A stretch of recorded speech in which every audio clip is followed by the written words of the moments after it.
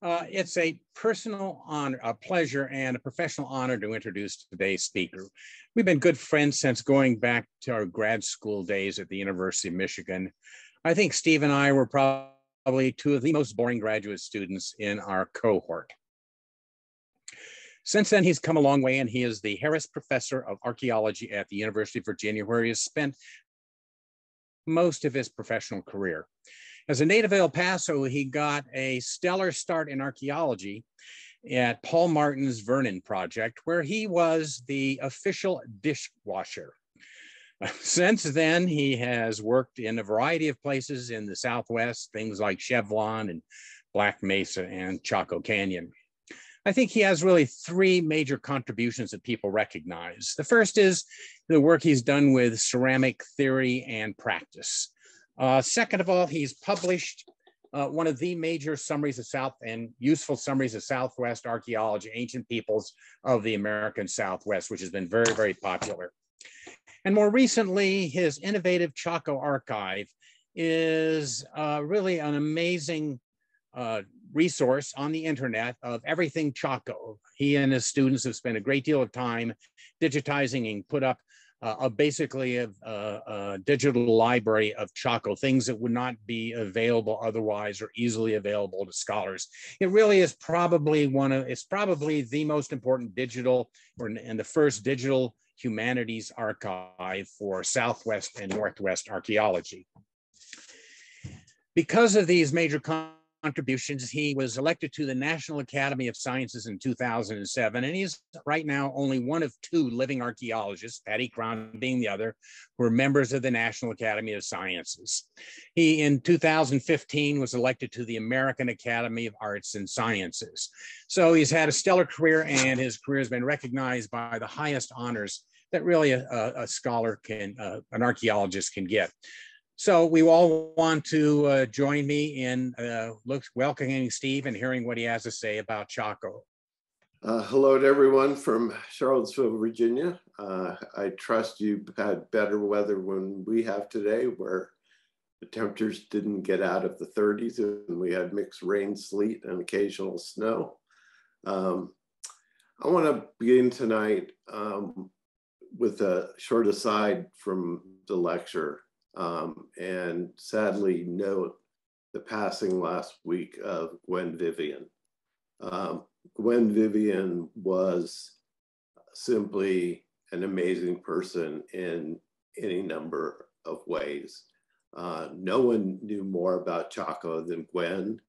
His father was an archaeologist for the Park Service, spent most much of his time in Chaco. Gwinn spent much, much of his youth in Chaco then continued his research there. Um, I think it's fair to say Gwinn's heart never left Chaco. Um, beyond Gwinn's extraordinary scholarship, he was uh, an outstanding mentor to any number of people. He was an outstanding colleague. He was an outstanding friend. Um, it would be hard to, for me to name someone who was kinder, nicer, warmer than Gwinn. And, um, you know, it's a tremendous loss uh, that he's, he's passed. So I just wanted to mention that before moving on. This picture is, was taken in 2006 and in a lot of ways it typifies Gwinn to me uh, I had taken a group of Virginia students out to Chaco in January, and Gwinn agreed to join us, and he's giving a tour of uh, Quindanilla to uh, the students who, who came came out with me. Um, and I, I, honestly have never seen uh, students react to someone this way. I mean, they, they treated Gwinn like he was a rock star. I mean, he just wowed them in any number of ways. So uh, again, a very, very sad thing to comment on, but fortunately Gwinn lived a long and productive life uh, and his life's work on Chaco water and Chaco ag agriculture um, has been submitted to University of Utah Press uh, and hopefully will be out within the next year, year and a half. Um, I wish Gwinn had lived to see that, um, but I'm thrilled that it has been submitted. So let me move on and begin tonight's lecture. Um, I'm going to talk about a variety of different things. Um, you know, I don't, I, as Paul mentioned, I've spent much most of my career working on small sites in Chevelon and Black Mesa, uh, sites that my my wife is fond of saying um, when I would take her out and show them to her that she never could see the sites, whereas in Chaco you can't miss them. So prior to the time I was about 50, I don't think I had stepped in Chaco Canyon more than twice. Um, but as I read more and more, particularly of Gwinn's work, I became more and more intrigued by the canyon and, and began to turn my research um, toward issues re related to um, what was happening in the Chaco region. So, um, as I said, I, I, don't focus on a particular um, set of evidence. I don't have a, a, a set interpretation of Chaco that I'm going to present, but I'm going to cover a variety of issues that I think are important and need to be considered in any discussion of Chaco. So this is the, the standard view. You see of Chaco great houses in the canyon. Um, it's about a nine mile stretch of the canyon. Uh, there, there are definitely uh, other great houses nearby. There's some great houses in, in the canyon that are not actually shown on this map. Um, but although Chaco, the canyon looks like a dry, arid uh, landscape, and in, in, many ways that what it is today, um, it looked very, very different uh, prehistorically, and I think that's one of the things that, that Gwinn's research ha has, has documented. Um, in addition to the canyon, Chaco had a broad influence over a very broad swath of the Southwest, up to southwestern Colorado, southeastern Utah, northeastern Arizona. Uh, there are Chaco great houses spread over that area. Uh, Chaco great houses or, or great kivas. Uh, they're Chaco roads that you've, you've heard about recently. Um, so Chaco is, is undoubtedly unique in, in many ways. And the, the, magnitude, the, the, the magnitude of, of the, the great houses in the canyon, some of the largest sites pre uh, 1300 sites that, that existed uh, anytime in prehistory. Um, occupied, great houses that were occupied for two to three centuries, which is just a remarkable contrast with so many sites that were lived in for maybe 50, 75 years at most. And, and, and then people moved on. People stayed in Chaco, at least some people did for century, you know, or their descendants for, for centuries. Um, this is a quote from um, Lynn Sebastian, who I, I, admire tremendously. In the early 21st century, um, Steve Lekson led a Chaco synthesis project. And this is a quote from one of Lynn's chapters in that book, um, where I think she expresses a sentiment that I would still say is true today, that during the past 100 years, and especially in the past 30, we've gained much descriptive knowledge about what Chaco was. We know much about their challenging, challenging environment. Um, but to, get to the key point, but when it comes to explaining how and why all of this came about, how Chaco society was organized, how it functioned, sometimes we, we seem no further along than when the Chaco project started more than 30 years ago. Now, things have definitely changed in the last 25 years, uh, 20, 25 years, but um, it's still the case, I think, that there's no consensus view of Chaco. You talk to a dozen different Chaco scholars and you're gonna get a variety of viewpoints. Um, and it, you know, in some ways, um, you know, you could look on that and, and say it's unfortunate. On the other hand, it's also continues to make the area exciting. Chaco is big, it is complex. It's thus not surprising that it's taken that it's taking time for us to really understand what happened there. So, um, in short, I think in a lot of ways we're still uh, today where where Lynn was expressing the view uh, back in two, 2006 that you know we're we still have a, a long way to go and to understand Chaco. Um, to give you some specifics, there there's still some key issues that people debate about the extent of social, political, and ritual hierarchy and differentiation, key social, political, and re religious organizations, how important were lineages, moieties, sodalities, other units, um, what was the population of the canyon and individual great houses. That's a particular one that will draw a lot of disagreement. Same with agricultural productivity in Chaco Canyon. Um, Gwinn's book will make a very strong case that Chaco was a productive location, um, but others have argued quite strongly that it, that it was not. Um, so I won't go over, over all these, but as you can see, there's just any number of other, any number of really key fundamental issues that you would think some would would be resolved. Um, but I think it, it, it's fair to say that most of them have not. Some people certainly have answers. Um, other people disagree with them. Um, in a lot of ways, that's the nature of archaeology.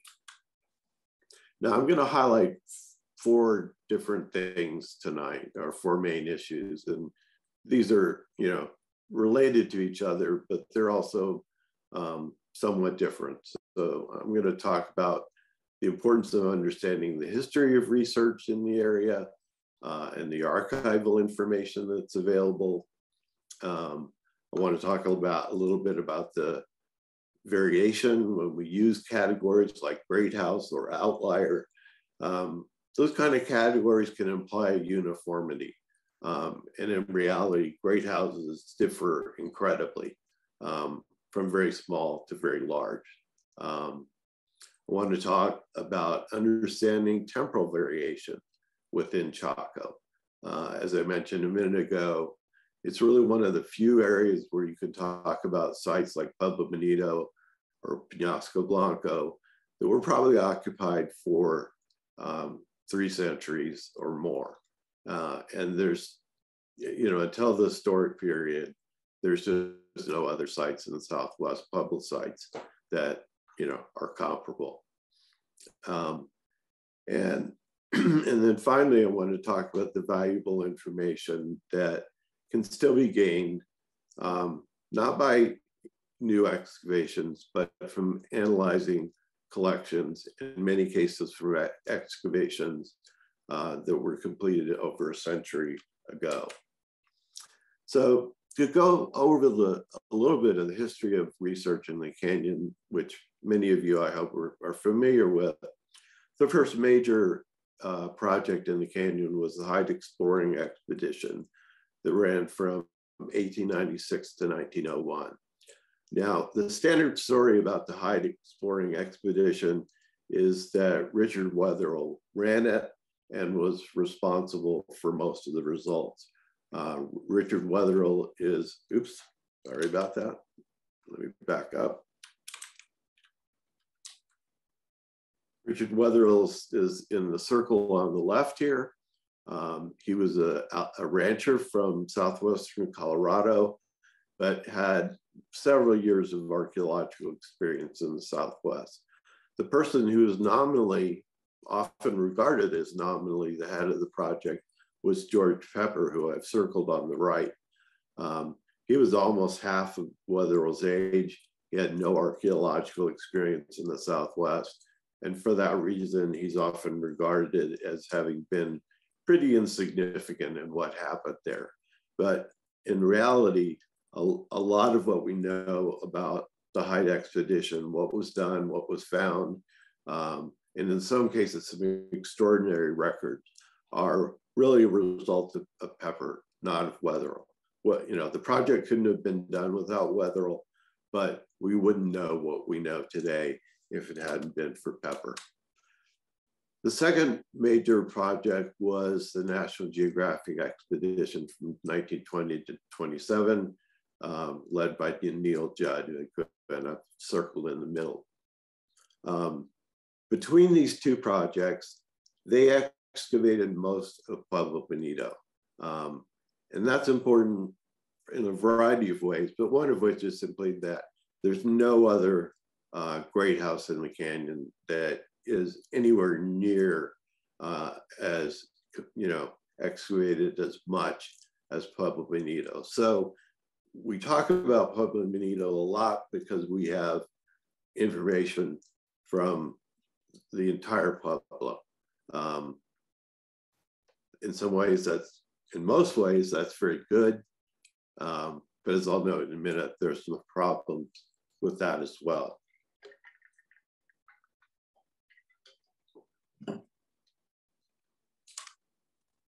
Now, a lot of the objects that you often see when people talk about Chaco, the you know, some really exquisite and amazing ornaments were recovered either by the Hyde Exploring Expedition or uh, the National Geographic Expedition. So you have this jet frog with inlaid turquoise, you have a, uh, a shell with inlaid jet and inlaid turquoise.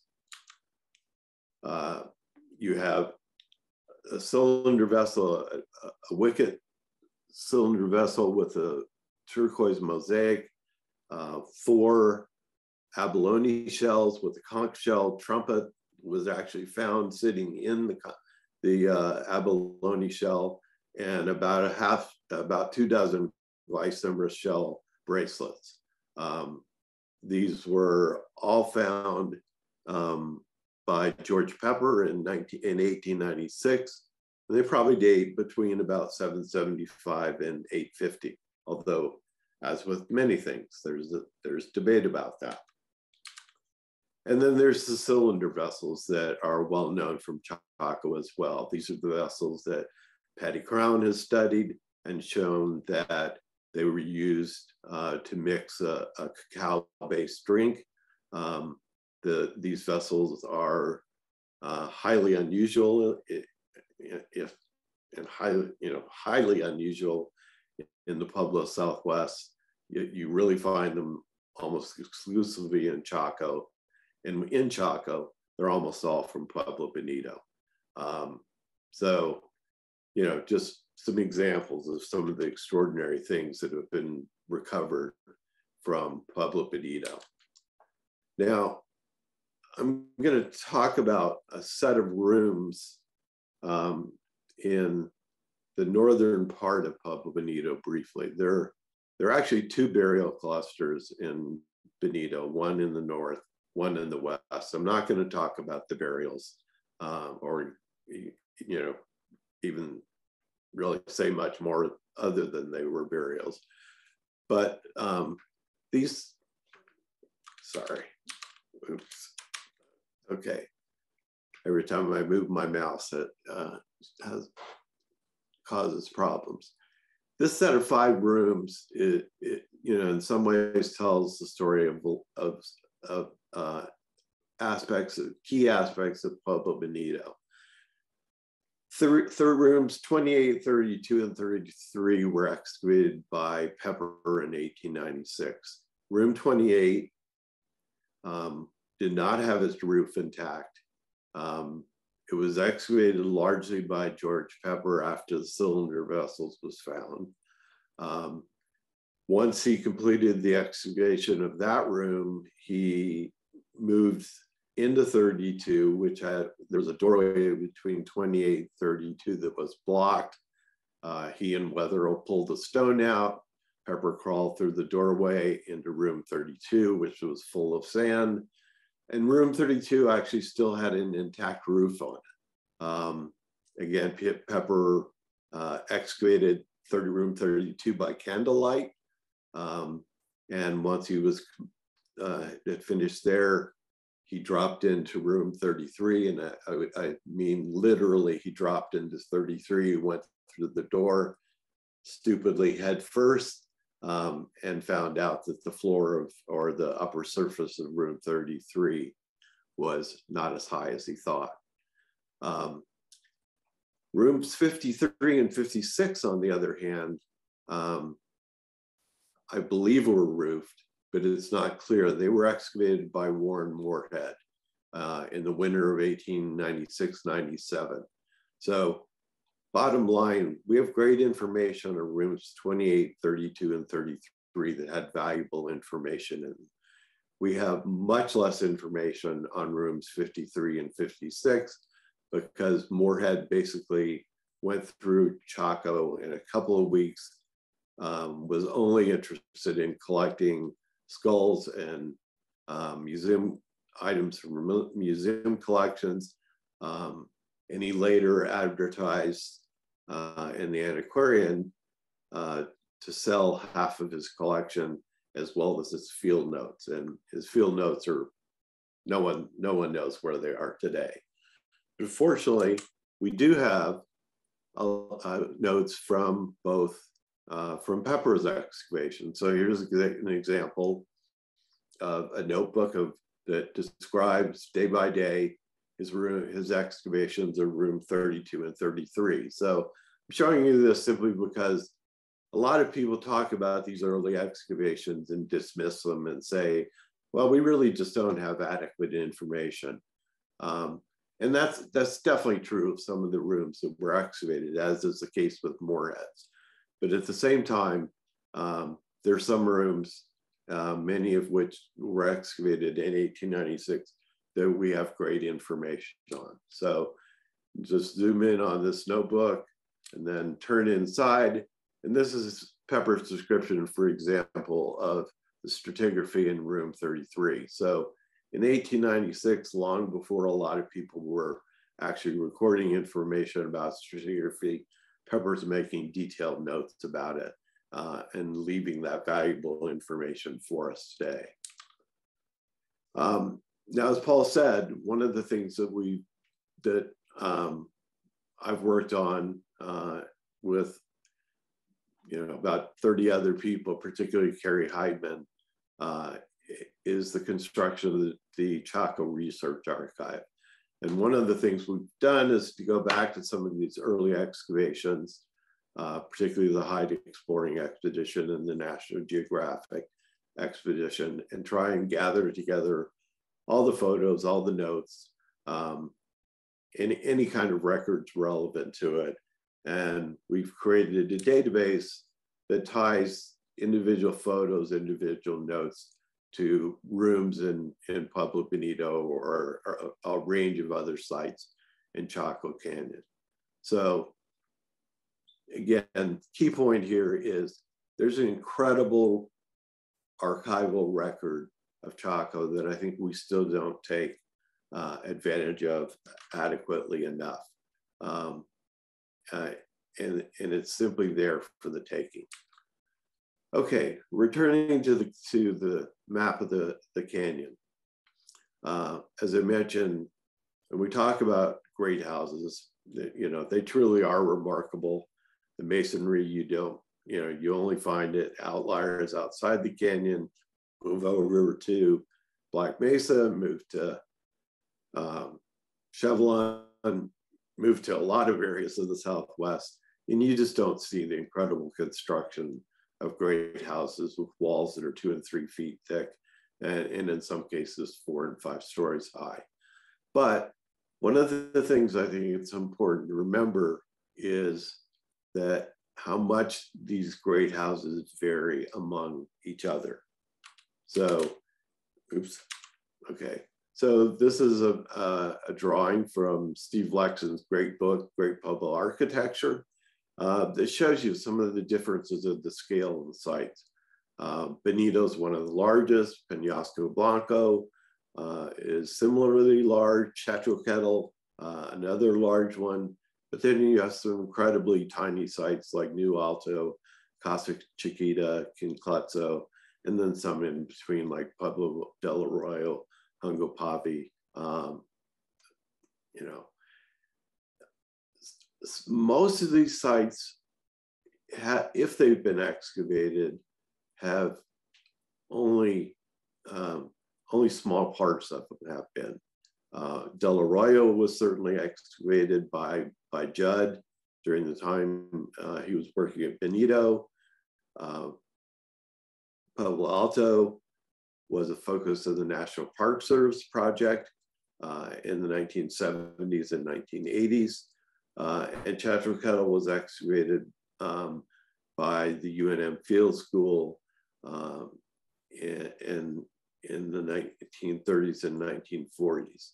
Um, but, um, you know, ideally, in the best of all possible worlds, you'd like to have comparative information, at least some comparative information from, from at least some, some of it from all of these sites. So again, there's, there's remarkable variation in scale and in, in, in size. Um, there's limited testing, say at Una Vida. Um, and Pueblo Bonito is the only site that's been completely excavated. And it's one of the reasons why when you open almost any article about Chaco and they're talking about great houses in the canyon, they focus on Bonito. Um, now, the other thing that Gwinn Vivian would have been mad, would be mad if I didn't mention is that certainly great houses were not the only sites in Chaco Canyon. There are literally hundreds of small house sites, um, you know, all through the canyon, uh, where any, you know, estimates have ranged from, uh, for the canyon as a whole, have ranged from 2,000 to 5,000. I think most people today are 2,000 or lower. Um, but you know, it was not just the great houses in, in Chaco. But um, Pueblo Bonito undoubtedly gets our, our attention because of how much we know about it. Um, and it truly is an exquisite site, as Neil Judd described for the National Geographic Society in 1920. Um, on the other hand, again, one of the things that Gwinn would be jabbing me in the ribs and saying is, are you talking about Pueblo Bonito again? You know, there's definitely a strong Pueblo Bonito bias. That a lot of the things that I've shown you, the, the amount of shell, the turquoise, um, you know, the, the cylinder vessels, um, and I'll cover this in a little more detail a, a little bit later, you, you actually don't find that, that much at other Chaco great houses. So when you when we do talk about Bonito, you have to keep in mind that it is in a lot of ways one in kind, one of the kind. Um, and um, as I said, we'd like to have more information about some of the other sites, but we have incredibly good information about Bonito. So, you know, I often hear people refer to, to Bonito as a planned site. And one of the things I simply wanted to emphasize is that Bonito is a, is a great house that was built through fits and starts and with major sections of the Pueblo built and then torn to the ground and then other rooms rebuilt on top of them. Uh, there's a this north what's called the Northeastern Foundation Complex, in yellow that heads off to the, to the right side of Bonito that Neil Judd found when he was trying to find the, the Pueblo Bonito Cemetery. Uh, I was doing testing around the area and he came on, came upon the Northeastern Foundation Complex. Um, the, the complex never seems to have been finished.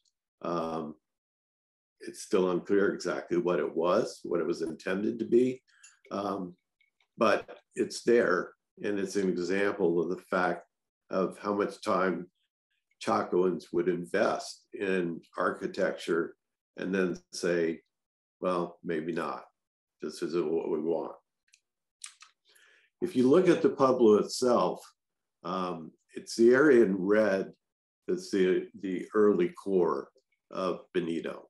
Um, and again, within that core, there's multiple building stages. So this is a glossing over, this is a map, this is really the, from Neil Judd.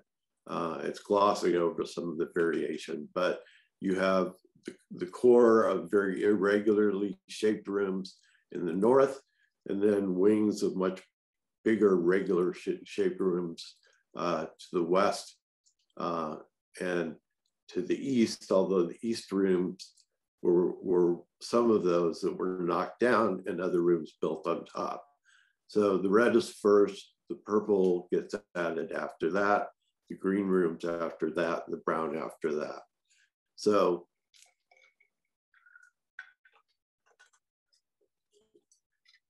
so Bonito ends up looking very planned and very regular, but during its history, it was far from it. Um, and at any given time, Bonito looked quite different from what we see today. And I think that's one of the things that we need to keep in mind um, when we talk about the history of Bonito, talk about the history of the canyon, uh, and so on. Now, it's these rooms up that, that I've highlighted uh, in the northern part of the Pueblo that I think are truly the earliest. Um, at least that's what Judd thought. Other people, I think, have concluded similarly. Um, Tom Windes, I know, has uh, has divisions within this area um, for different building stages, but um, I think most people would agree that these are some of the earliest rooms built at the site. Uh, and it's actually, these rooms are also where most of the, the unusual artifacts occur. The cylinder vessels, much of the turquoise, much of the shell, the scarlet macaws, uh, a lot of the scarlet macaws that have been recovered from Chaco Canyon that I'll talk again about, about briefly. Um, so even those rooms are early, they remain significant throughout the history of, of Pueblo Bonito. Um, and I think the collections from those rooms uh, are, are truly incredible. Now, um, to move on, to talk about temporal variation in Chaco, a lot, what a, a, lot of people focus on in their discussion is this period from 1030 to 1130 CE. Um, as I'll show you just in a minute, uh, uh, there was a tremendous amount of construction during that century. Uh, a lot of the great houses were built or expanded during that period. Um, and Jim Judge, back in an article he, that was published in, in 2004, refers to these 100 years as Chaco's golden century. Um, other people have referred to them as the Chaco phenomena, the Chaco florescence, um, and a variety of other terms. But um, the golden century is, is meant to refer to not the great houses, but potentially the construction of irrigation systems, the acquisition of turquoise, uh, the acquisition of the scarlet macaws, much of the shell, uh, the crafting of the remarkable ornaments, the cylinder vessels, and so forth. Um, and there's there are two unusual burials beneath a, uh, a wooden plank wooden floor in room 33. Um, and those are also often dated to this century of time. So I'm going to focus on this, this period briefly. Now, this is simply a graph of the cutting, the the, the uh, tree ring dates from Pueblo Bonito. Um, and I should note that the scale on the y-axis is, is uh, um, a log scale, logarithmic scale. And so if this was a arithmetic scale, you, these peaks would be much higher than they, they show here. uh, but in order to compress it into a single graph, we decided to go to a logarithmic scale. You can see there's a, essentially a construction interval around 850 to 870. Um, these are five each. Um, these are five-year intervals. Uh, there was another set of uh, interval construction from say 995 to um, 940, 950. Um, and then the, the significant construction that occurred from 1030 to 1130, some people would actually move it back to 1020 or 10, 1010. Um, but it's that mode of um, that um, cluster of tree ring dates on the right uh, that is that makes up essentially Chaco's golden century. Um, and um, you know, I think one of the things that that essentially um, I, want to say over the next few minutes is these tree ring dates are tremendous. I mean, any other place in the Southwest, you would love to have uh, this number of tree ring dates. So they're incredible in developing a chronology. On the other hand, they're not the whole story. And I think we sometimes assume they do tell us the whole story. Uh, and so I want to talk about that a bit. Um, when, when Pepper and Wetherill arrived in the canyon and began excavation in 1896, one of the things uh, that occurred was that a lot of the rooms that they excavated, and I've talked about rooms 32 and 33 already um, that were roofed um, and had significant overburden above them. Uh, this is a photo of two of the Navajo workers that, that they had hired who are working in one of these underground rooms as well. Um, you know, no one would go into a room like this today and, and try and do any excavations given the tremendous amount of overburden above them, which make which is consists of uh, the masonry and the roofs from second, third, fourth story story structures um, above them. But this is a nice example of how deeply buried many of these site many of these rooms are. Um, they're also they're still deeply buried today. When you take the path, the, the walk the path through Pueblo Bonito, if you've done that before, uh, and you go through the northern set of rooms, you're walking through generally rooms that are at the second uh, story level. Uh, you're well above the first story rooms, which are, uh, again, buried today. They've been backfilled. They're, they're largely inaccessible except for a small number that you can get to through a, a, a, a gate that the Park Service keeps locked. Um, but I mention these rooms simply because they are not well dated by dendrochronology. So we don't have great tree ring dates from them. And in order to understand the chronology of these rooms, I think, you know, we have to turn to other kinds of dating methods. So again, I'm going to uh, talk a, a, bit about this same set of rooms again. Um, that, you know, room room 28 um, is, is actually a very complex room. Uh, Patty Crown's got a great book on it called The House of the Cylinder Vessels. Um, she has re-excavated it and can tell you much more and, about it uh, in, a, in superb fashion in her book. Um, 32 and 33 are, are really key rooms, um, in part because 33 is this um, complex mortuary crypt with um, 14 individuals that are buried in it. Um, something that, that I know of, there's no parallel as far as I know anywhere else in the Southwest.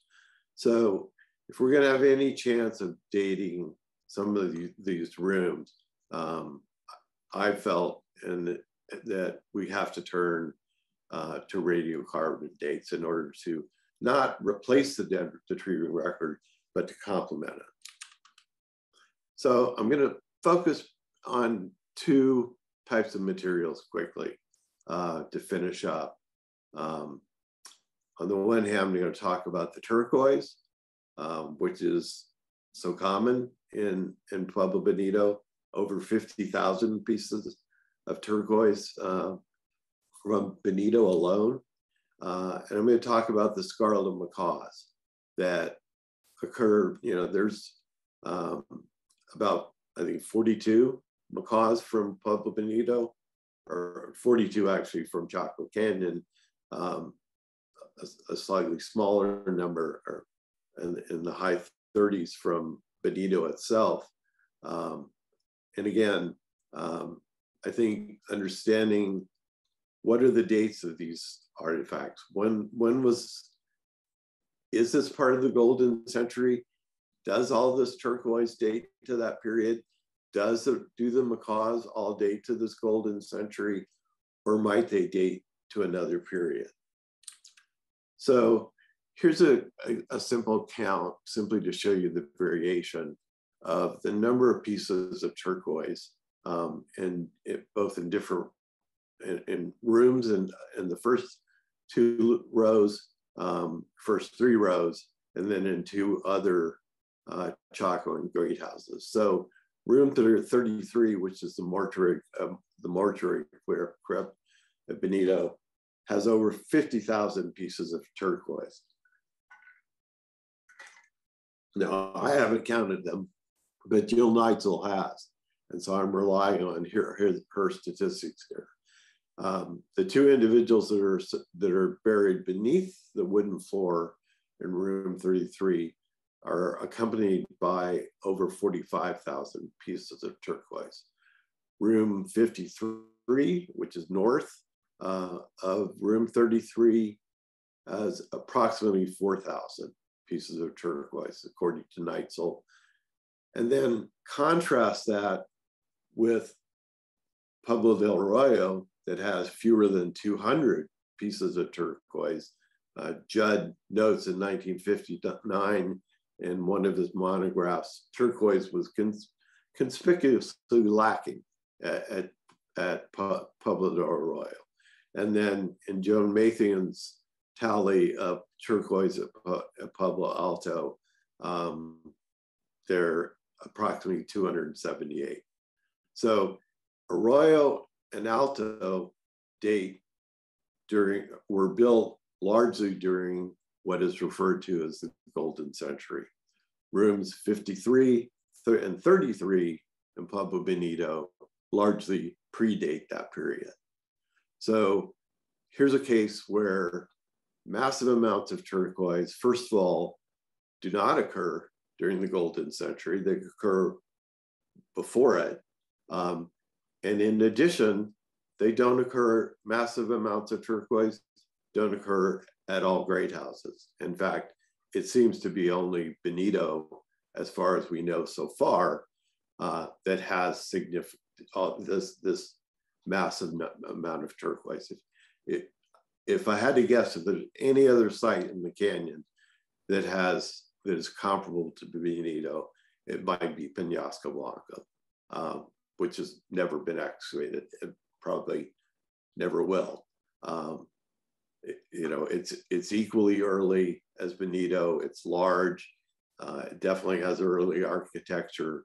Um, Neil Judd had actually put in, started to put in a permit in 1928 uh, to excavate it after he finished working at Pueblo uh, Bonito, but he decided he'd better not, that he had far too much to write up already. Now, looking at scarlet macaws, there's a similar picture.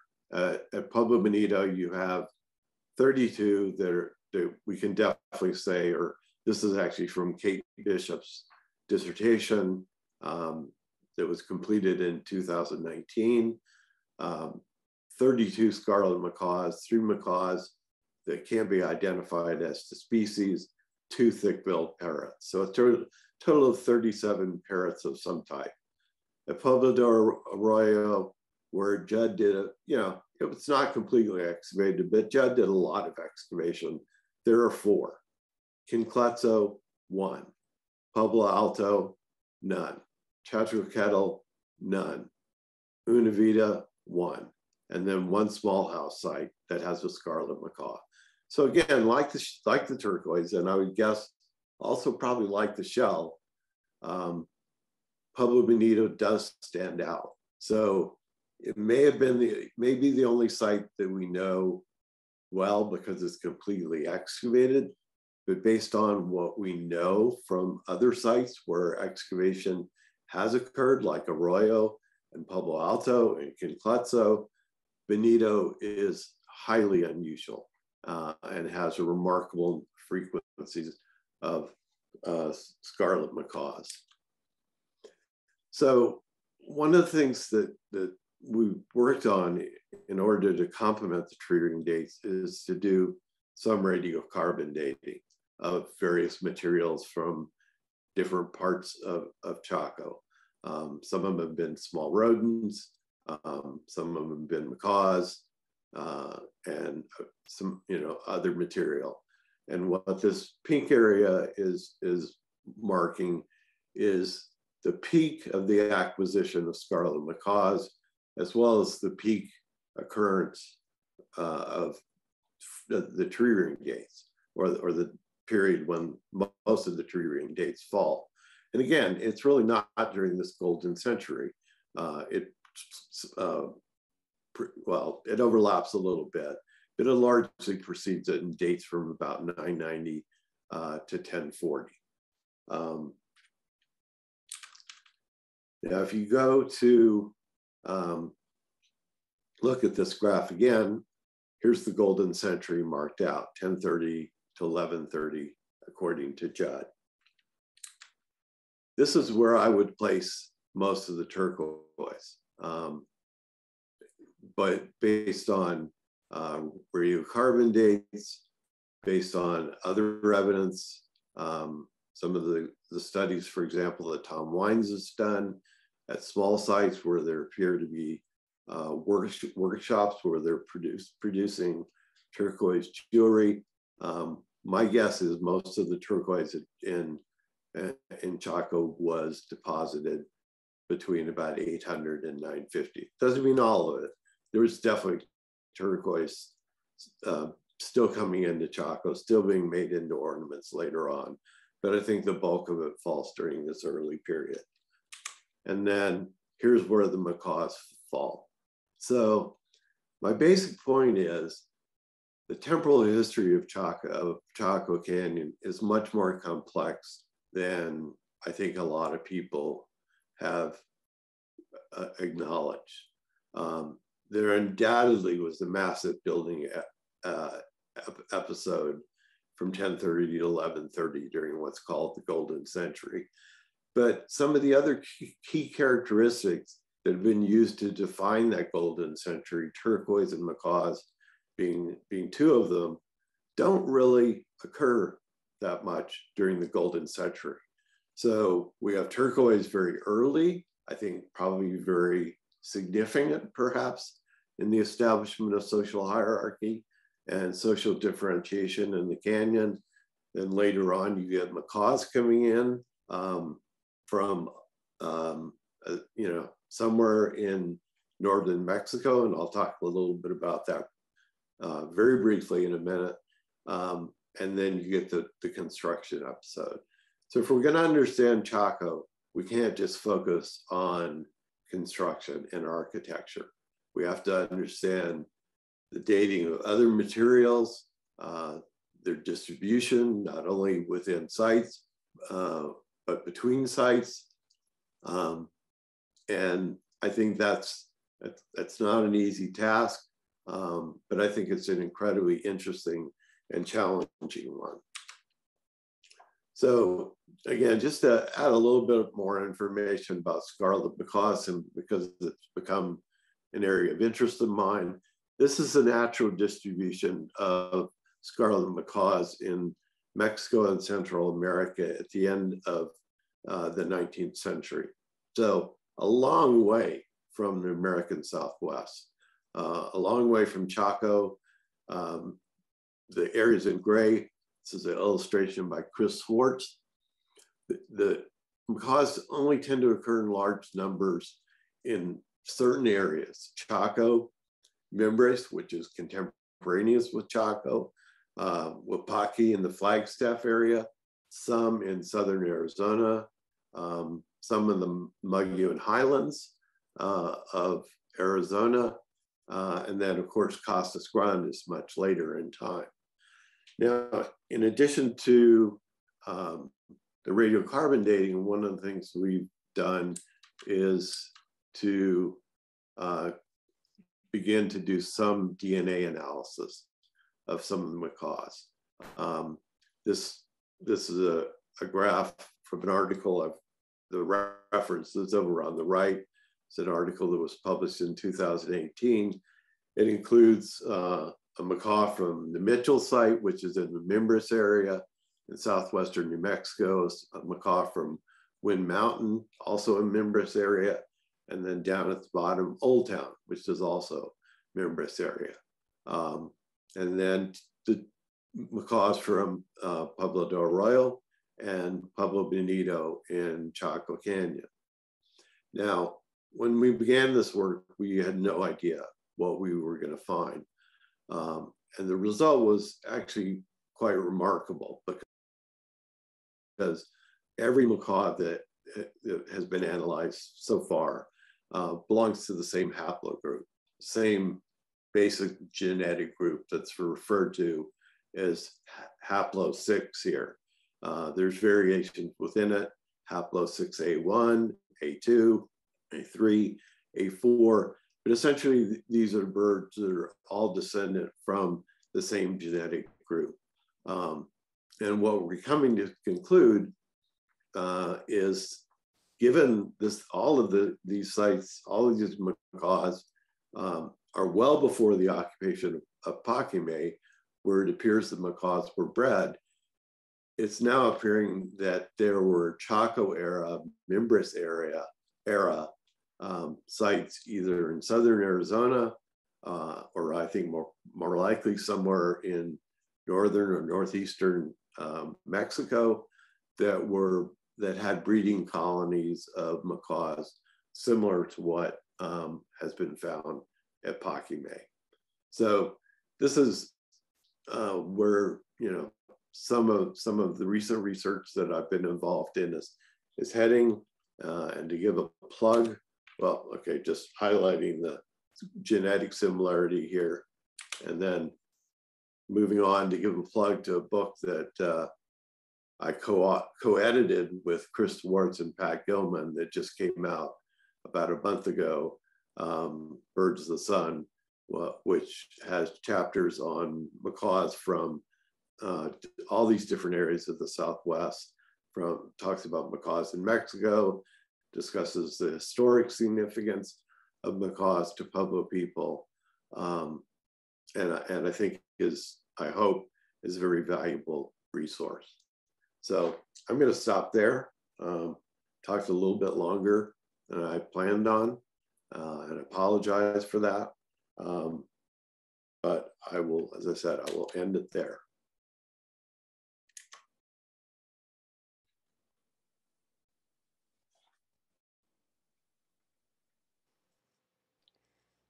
Thank you, Steve. Do you, uh, would you like to, oh, you can stop your screen share. Yeah. Okay. Thank you so much. That was that was wonderful. Um, I do have questions already, so I think we'll just dive right into those. Um, and I, I've seen a bunch of them about the turquoise, so let's just start there. do you know where the turquoise comes from to start with?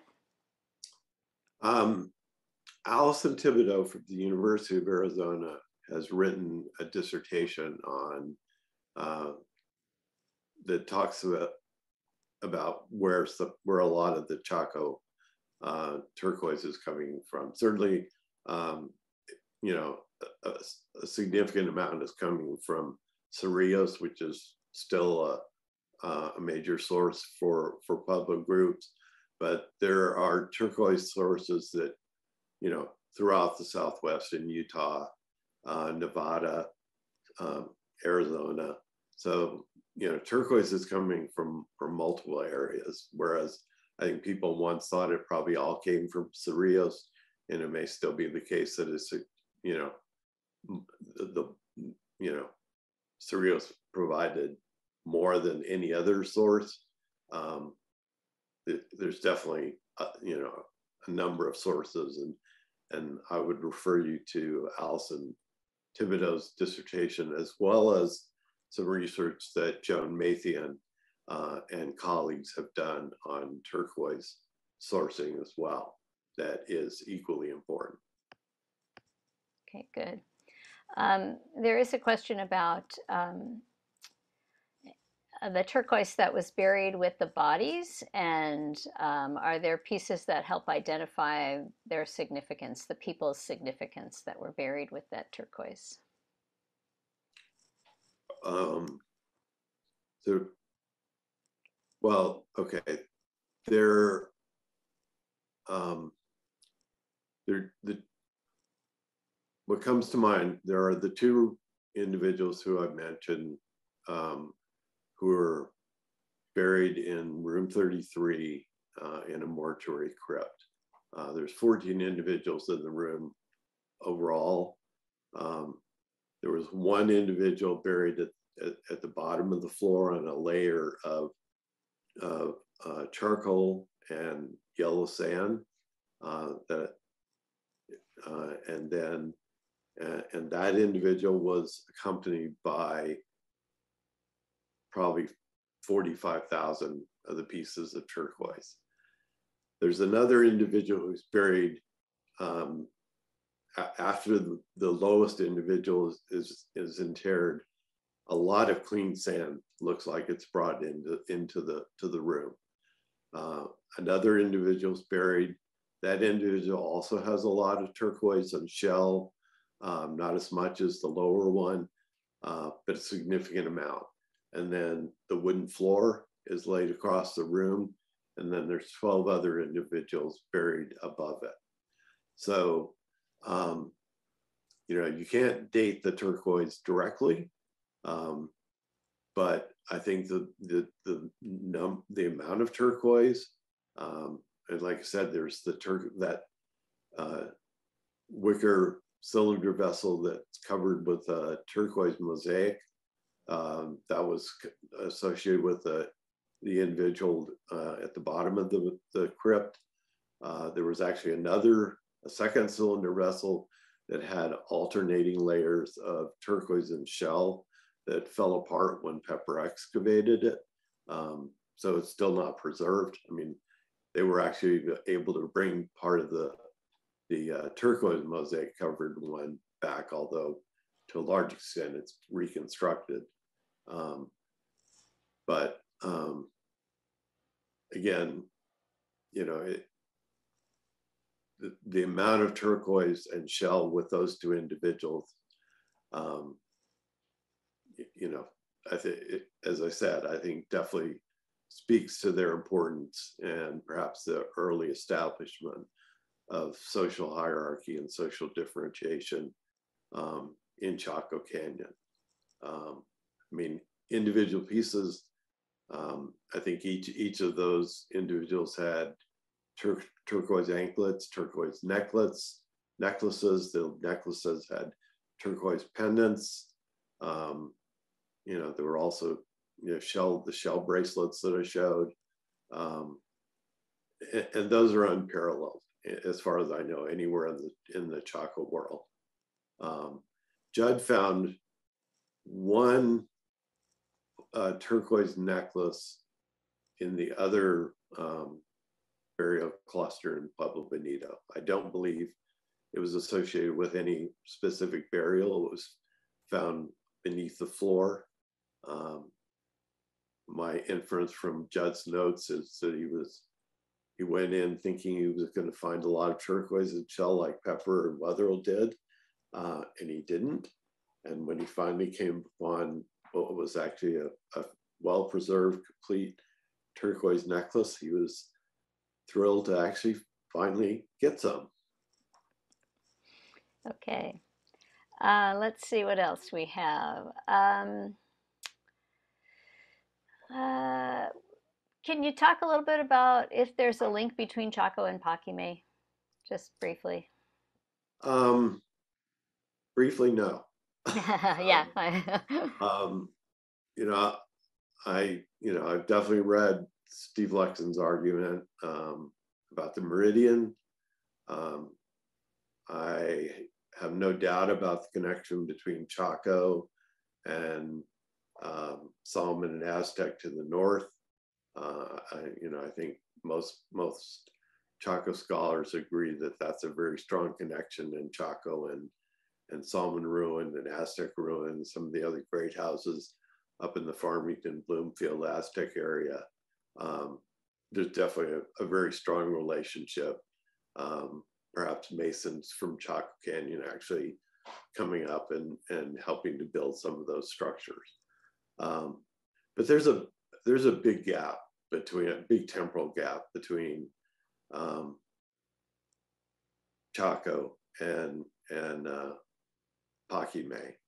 Um, it's not as big as I once thought because again, as we've you know done some of the radiocarbon dating, we're getting some dates that fall in the late 1100s and close to 1200, uh, which I hadn't really anticipated that we would get. Some of them cause actually seem to date to that period, which is I think particularly interesting. Um, but Paquimé is just different from Chaco in so many ways. Um, you know, uh, pottery, the rooms, the, the, the ritual structures.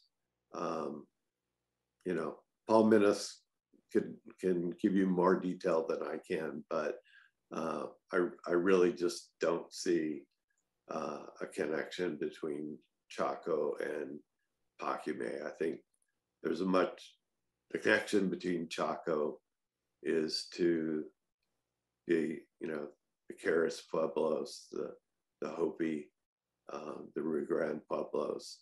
Um, when people left Chaco, I think that's where they went. Uh, it's certainly possible if you could have gone uh, to northern Mexico, but I don't see a major movement. Okay, thanks.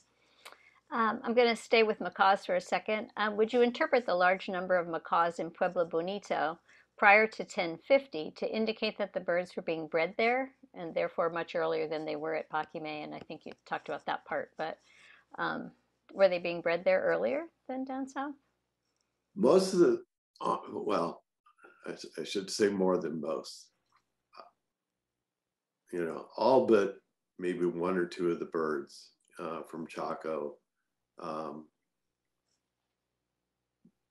uh, died, you know, around the age of one.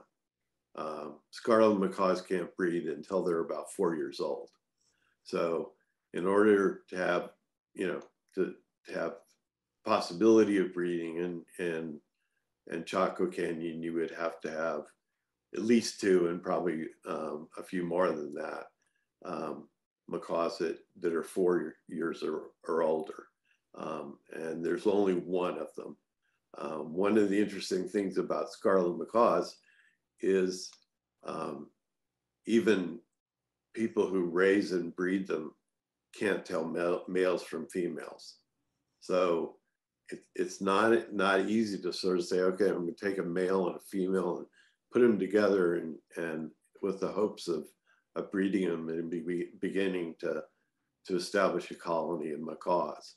Um, so that's why I say I think you probably need minimally three or four. Uh, and there's just not the evidence for that in Chaco. Um, there is some, uh, Pat Gilman and um, forgetting the other name, have suggested that, that there might have been some breeding in the Mimbres area. Um, I think that's a possibility. Um, in addition to the younger birds, I think Chaco is probably just too cold to have been uh, a breeding area for macaws. Um, Okay. Um, one more, one more macaw question, I think. Um, many of the macaws recovered from Wupatki uh, had some interesting bone pathologies. Is this common in those at Chaco as well? Uh, it's not that common. I mean, um, all the macaws were um, plucked for feathers. I mean, that was largely the reason they were acquired. So you, you definitely find uh, evidence on the bone of, of you know, feathers being plucked. Um, there, there's definitely some other pathologies, but they're not, um, you know, they're not that abundant.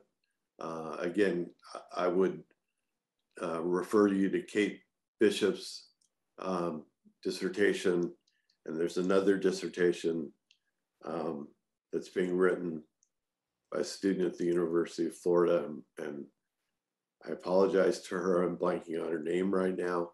Um, she's she's focusing um, more than Kay did on pathologies, um, but um, like I said, it, it's not. My understanding is it's not anywhere near as common at Chaco as it is um, at Wupatki. To switch gears a little bit, um, I've heard about astronomical knowledge at this site. Can you speak about that at all? Uh, boy, that's that's one area that I'm not particularly strong uh, on.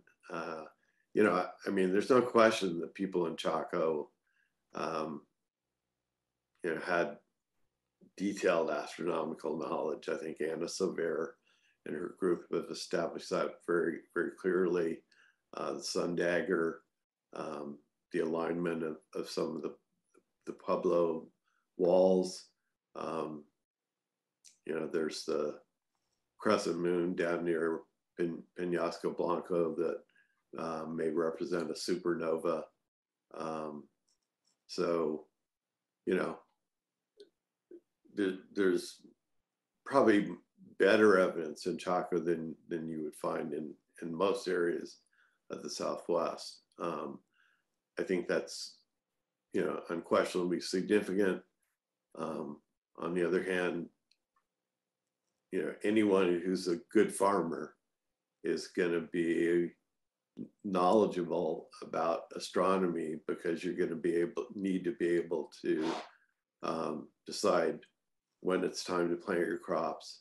Um, and you're not going to be able to do that unless you can begin, you know, predict, predict the weather. And the best way of doing that at that point would have been uh, through astronomical knowledge and the movement of the sun um, and, and stars and the moon.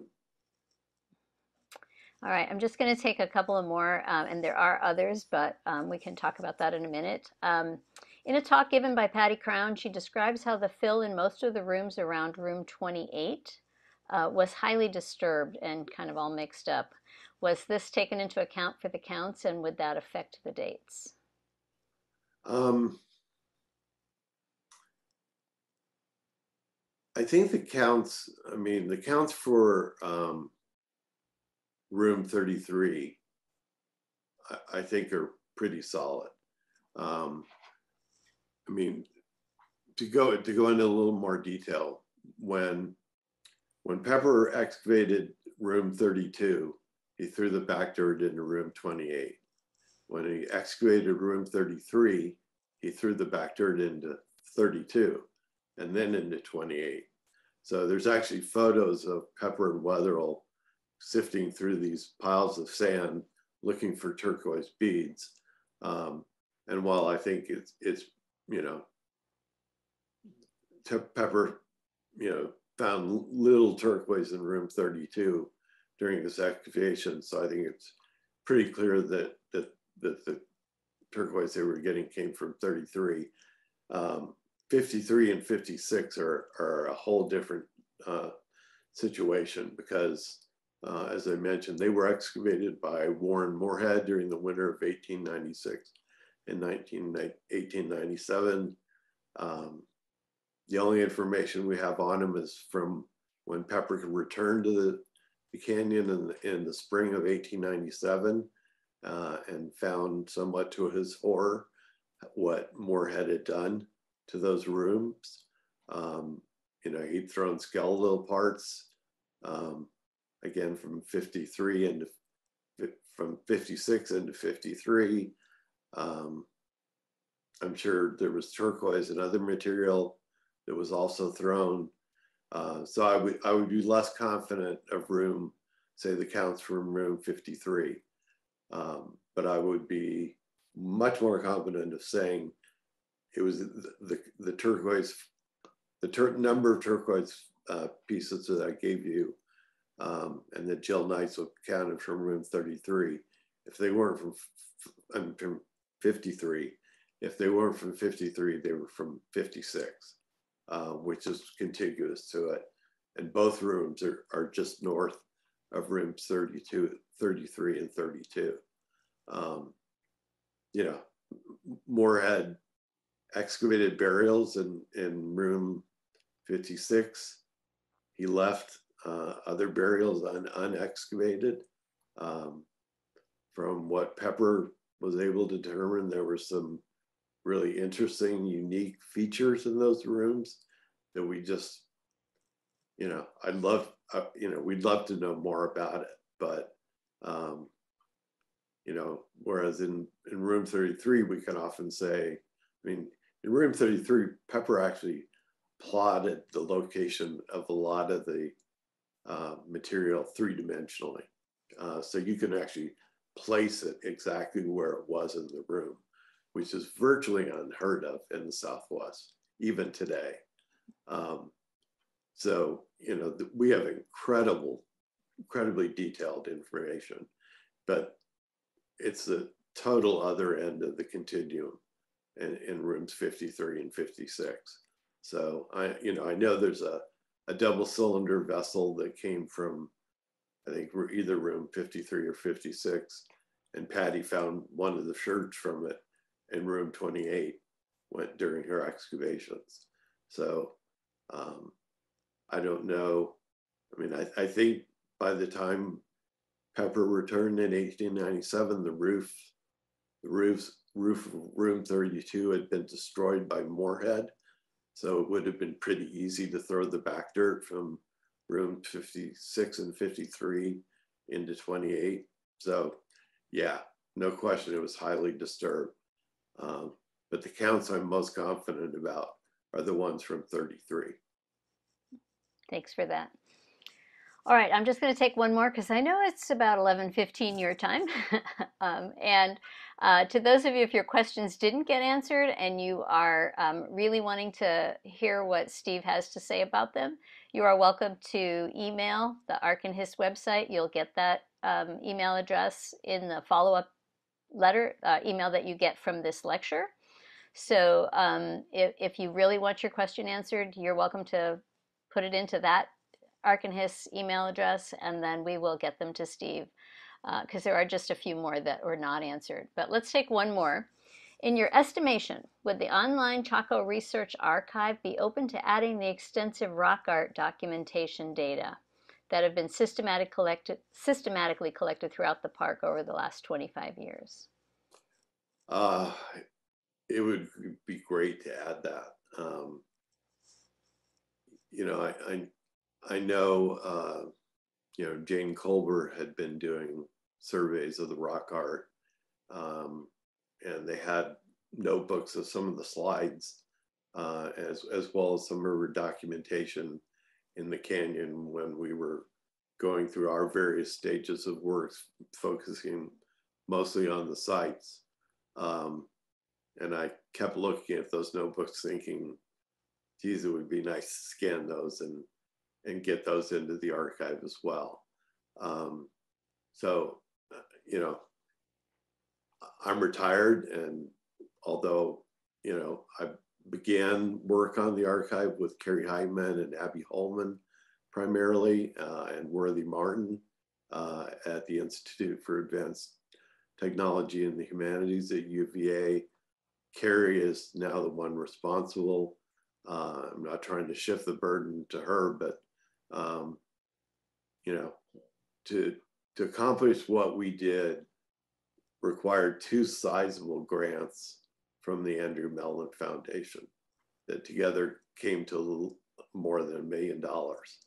So uh, to add the rock art would be wonderful, but um, I think it would only be feasible um, by going out and again trying to to secure some significant grant money um, to do it, or for someone with uh, a lot of eager students uh, who would be willing to scan slides and uh, scan documents. Uh, and you know, once once the scanning is done, which is the hard part, um, it's a little quicker to get it into the database. All right. Thank you so much. Um, thank you particularly for being on this late in the evening. Uh, we, we appreciate your sharing with us. And um, to those of you out there who didn't get your questions answered or you have comments in the chats, those will get forwarded to Steve. But if you have a question that you really want answered, uh, please put that in our ArcandHIS email and we will forward them as, as we can, okay? Uh, so thank you, Steve, so much. Any last comments? No, thank you for in, inviting me. Uh, I appreciate it. I always enjoy talking about Chaco. Um, I'm, I'm, glad I didn't go much over what I planned. um, you know, Chaco is just a fascinating place and it's easy to keep talking on and on about it. So um, I appreciate everyone listening. Um, I'm happy for any feedback. Uh, and I appreciate the invitation to uh, give the talk tonight. Thank you, thank you. We are so honored that you took the time to do this for us. And um, again, I will share the comments that are coming through. There's some very nice comments coming through, but I'll send you a, a written version, a text version of that. So, um, all right, thank you, everyone. Thanks for being here. And we'll see you again next month. Some of you in person, perhaps. That would be awesome. Uh, and the rest of you will be on Zoom again next month. So um, I think I said next year. Sorry, I meant next month. anyway, have a good evening and we will see you soon. Thanks, Fred. Bye.